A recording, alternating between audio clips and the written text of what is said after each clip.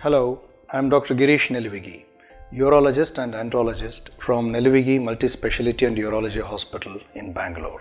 I will be talking on laparoscopic nephrectomy today. Laparoscopic nephrectomy is removal of the kidney by keyhole surgery.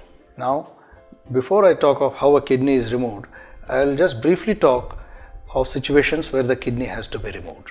Kidney removal is done for a variety of reasons.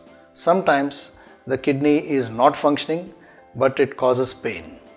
This can occur because of chronic obstruction to the kidneys because of a condition called uh, obstruction or because of stones or because of any other narrowing. The other reason why kidneys are removed is because of infection which cannot be treated. Here the kidney is infected and despite antibiotics the kidney cannot be cleared of infection. The other common reason why kidneys are removed is uh, because of cancers of the kidney or the ureter. Here removal of the kidney is a life-saving procedure because left without treatment over a period of time cancers spread all over the body. Now I'll come to the second part of the discussion. How is a kidney removed?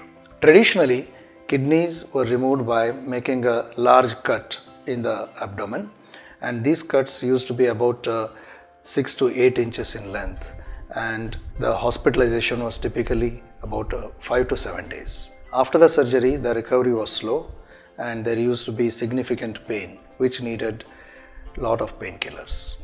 However, nowadays the technology has changed. The surgical method to remove the kidney is primarily by keyhole surgery or laparoscopic nephrectomy.